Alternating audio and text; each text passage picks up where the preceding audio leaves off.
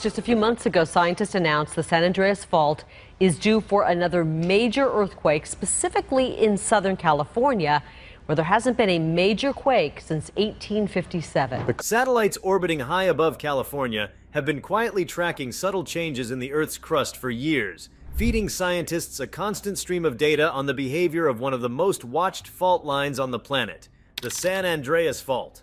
Recently, those measurements revealed something that instantly captured the attention of geologists and seismologists alike. Over just a short span of weeks, satellites detected sudden shifts in the terrain along multiple segments of the fault, movements far larger and faster than typical background motion. These changes, invisible to the naked eye but undeniable in the radar data, have triggered an urgent wave of scientific concern. Before we start, hit the like and subscribe buttons for more exclusive news.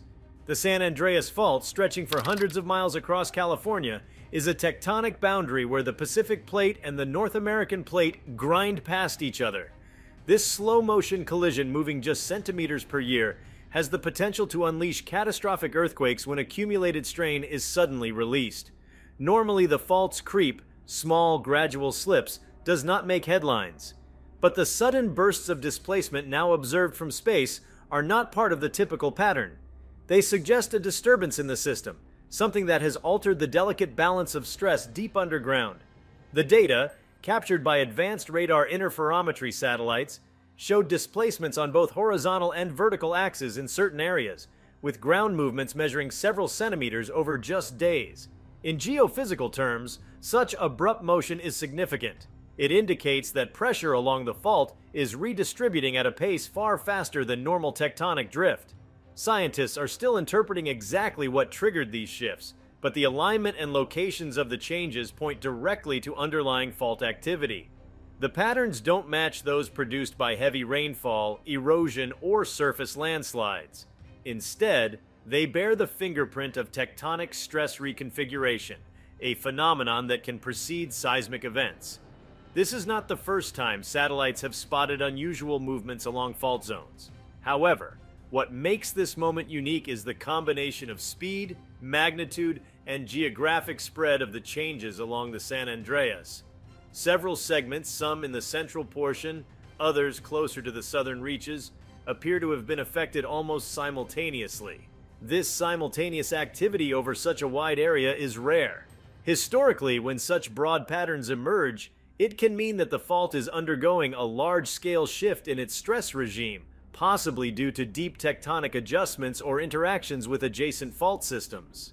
The precision of satellite monitoring allows scientists to see what ground-based instruments might miss. While GPS stations along the fault record continuous motion at specific points, satellites can produce sweeping images that reveal motion across vast stretches of terrain.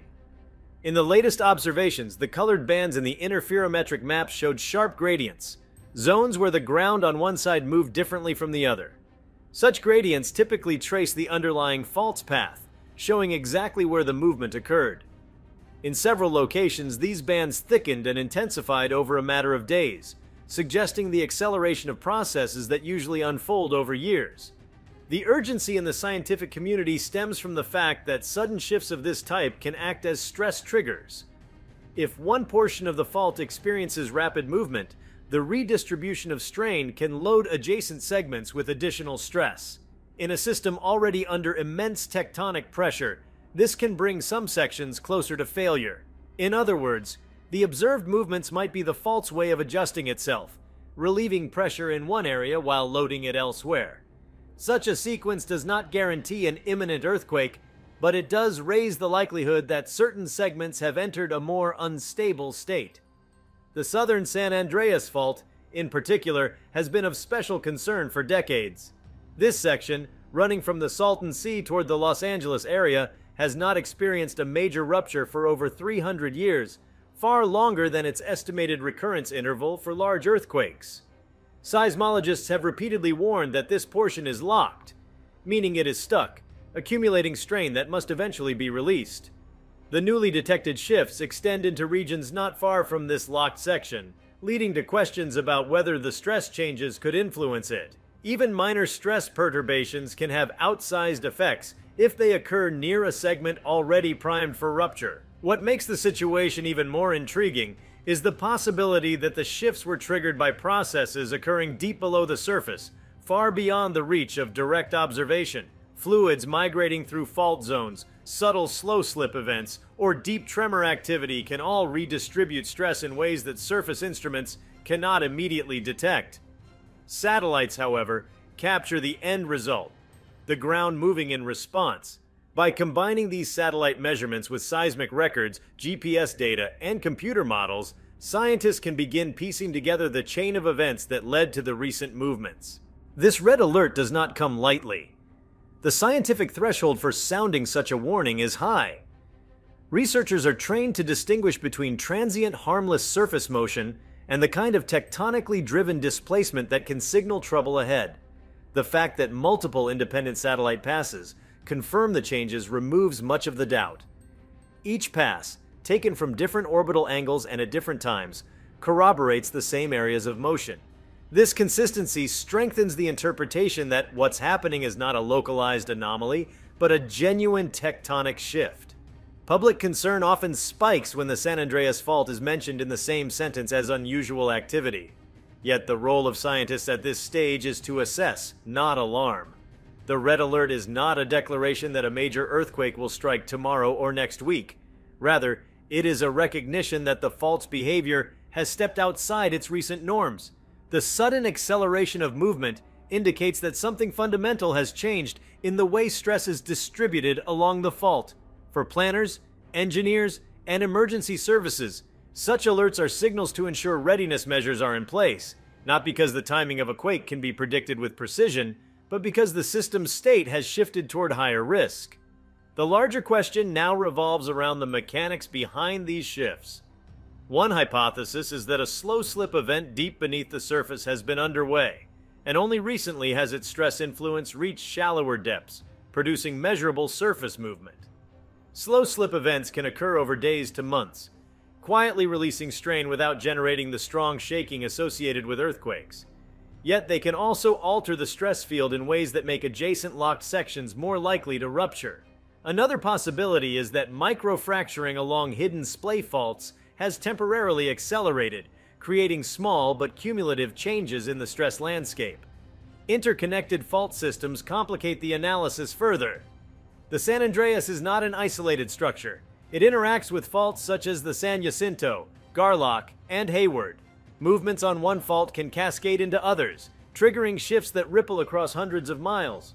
This networked behavior means that scientists must consider not just the San Andreas itself, but the entire tectonic framework of California when interpreting these satellite observations.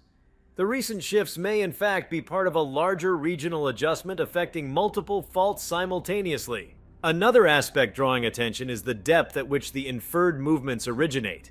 Satellite data primarily capture surface displacement, but models based on these displacements can estimate the depth of fault slip. Early interpretations suggest that some of the recent movements may stem from depths of 10 to 20 kilometers, deep within the brittle ductile transition zone where rock begins to deform more plastically. Activity at these depths is important because it often represents the interface between stable sliding and earthquake generating behavior. Changes here can influence whether strain is released gradually or catastrophically. Climate related factors, while less likely in this case, cannot be completely ruled out without further analysis. Seasonal snowpack, groundwater extraction, and even atmospheric pressure variations can cause subtle ground shifts. However, these tend to have recognizable spatial patterns and correlations with environmental data. The current movements lack such correlations, leaning the interpretation toward tectonic causes. Nonetheless, scientists are careful to eliminate all possible non tectonic explanations before committing to one. For the teams monitoring the San Andreas, this is a moment that tests the limits of predictive science. Earthquakes remain notoriously difficult to forecast, but recognizing precursory signals, if they exist, is a critical goal. These sudden shifts offer a rare opportunity to study the fault during a period of potential transition. Instruments across the state, from borehole strain meters to deep seismic arrays, are now scrutinizing the region for any sign of accompanying microseismic activity, changes in crustal fluids, or alterations in the magnetic field. Public communication during such a scientific moment is delicate. On one hand, there is a responsibility to inform communities that the fault's behavior has changed. On the other, there is the risk of creating undue fear when no specific prediction can be made. The red alert serves as a technical classification within the scientific and emergency management community, signaling heightened observation and readiness. It also prompts a flurry of data sharing between agencies, ensuring that any further changes are quickly recognized and assessed. The potential implications of the shifts extend beyond seismic hazard. Large-scale movements along major faults can influence groundwater systems, alter surface drainage patterns, and even impact infrastructure built across or near the fault. Bridges, pipelines, and rail lines designed to tolerate slow, predictable creep could face unexpected stress if movement rates accelerate or directions change. Engineers may be called to re-evaluate the vulnerability of such structures in light of the new data. From a purely scientific perspective, the current situation provides an invaluable natural experiment. It allows researchers to test models of fault mechanics under real-world conditions, improving our understanding of how the San Andreas and similar faults behave under stress. Every satellite pass over the fault is now eagerly awaited, as each new image has the potential to reveal whether the shifts are continuing, accelerating, or stabilizing. Trends over the next weeks and months will be critical in determining whether the system is returning to its baseline state or edging toward a more significant release of energy. International collaboration plays a significant role here as well. Many of the satellites collecting this data are operated by agencies outside the United States, including the European Space Agency's Sentinel missions and Japanese radar satellites. The global scientific community has a vested interest in understanding fault behavior, not just for California, but for seismic zones worldwide. Lessons learned from this event could improve monitoring strategies for faults in Japan, Turkey, New Zealand, and other earthquake prone regions. There is also a technological dimension to this alert. The ability to detect such subtle movements over wide areas is a testament to how far Earth observation has advanced. Just a few decades ago, such changes would likely have gone unnoticed until a seismic event made them apparent. Today, with radar capable of measuring millimeter scale displacements, scientists can see the fault's every twitch. This sensitivity opens the door to a more proactive approach to seismic hazard assessment, where warnings are based on physical changes rather than just statistical probabilities. As the data continues to pour in, researchers are also considering how deep Earth processes might connect to what's happening along the San Andreas. Mantle convection, the slow churning of hot rock far beneath the crust, can subtly shift tectonic boundaries over long time scales. While these processes operate far more slowly than the current shifts, their influence on plate boundary geometry can play a role in how strain accumulates. It is possible that deep-seated forces have reached a tipping point, nudging the fault system into a phase of accelerated change. Geological history reminds us that the San Andreas has produced sudden surprises before. Paleoseismic studies, Analyses of ancient earthquake layers and sediments show that periods of relative quiet can be punctuated by abrupt, intense activity. Sometimes, such bursts of motion are preceded by precursory signals, while at other times they appear without warning. The current shifts could represent the former, offering a glimpse into the fault's preparation stage before a significant event. Or they could be an isolated adjustment with no larger consequence. Regardless of which scenario unfolds, the presence of such a measurable and widespread movement pattern along the San Andreas is rare enough to merit intense scrutiny. It marks a deviation from the steady, predictable creep that characterizes some sections and from the locked, immobile state of others. In this transitional behavior lies both scientific opportunity and societal responsibility. The more scientists learn from episodes like this, the better equipped they will be to interpret the fault signals in the future. Over the coming months, the focus will remain on integrating every possible source of information satellite data, seismic readings, GPS records, and field observations to construct the most accurate picture of what is happening. Whether the recent movements are the first act of a larger sequence or a brief and self contained adjustment, the fact remains that the San Andreas has just demonstrated its capacity for sudden large scale change without warning.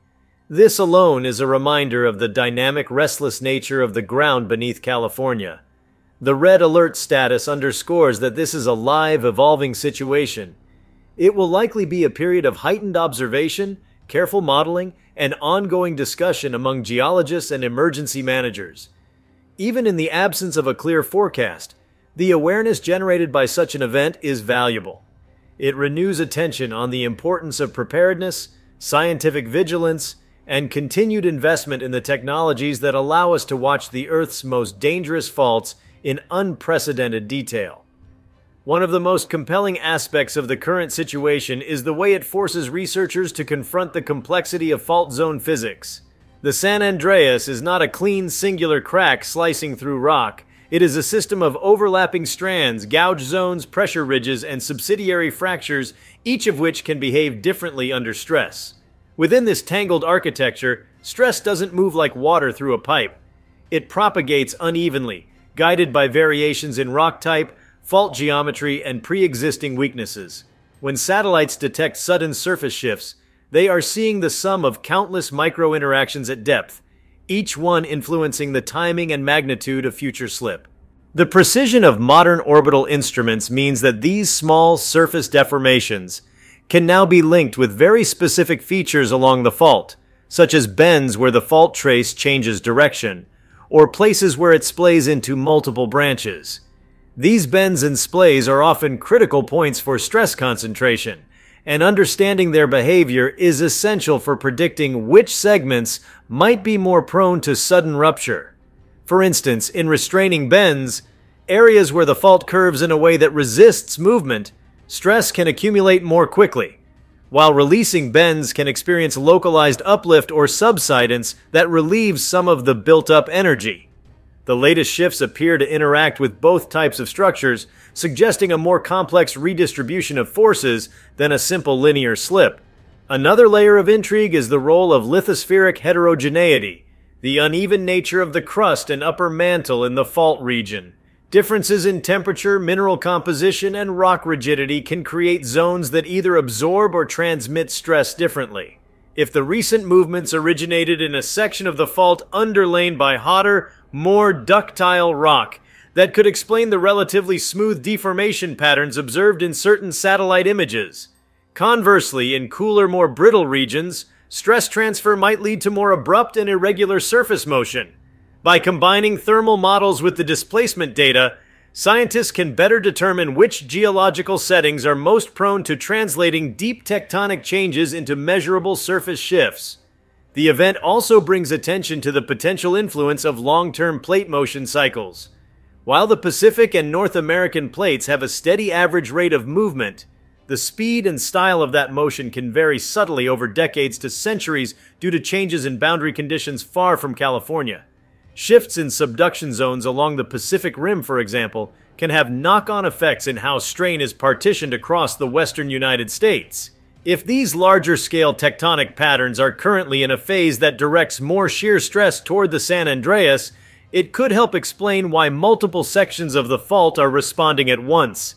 Even the surrounding sedimentary basins, such as the Los Angeles, Salton, and Central Valleys, play a role in modulating how the crust reacts to stress changes. These basins, filled with softer sediments, deform differently than the rigid mountain blocks flanking the fault. When strain is redistributed, these differences in material properties can cause stress to focus at the basin edges, potentially acting as hotspots for future seismicity. The current shifts by altering the stress landscape may be subtly reshaping these focus points. What emerges from all this is a portrait of the San Andreas as a living, evolving system, sensitive to influences from both its immediate surroundings and distant tectonic events. The sudden simultaneous shifts detected by satellites are not merely an isolated occurrence. They are a symptom of a fault network that is constantly rebalancing itself in response to forces both local and global. By capturing this moment in such high resolution, scientists are not just reacting to a potential hazard, they are seizing an opportunity to watch in real time the interplay of geology, physics, and deep earth dynamics that ultimately shape the seismic destiny of California. If you like this video, please give it a like and subscribe to our channel. Also, could you leave your comments below and tell us, what are your thoughts on the sudden San Andreas fault shifts detected by satellites? We want to hear from you. Thank you for watching, and see you next time.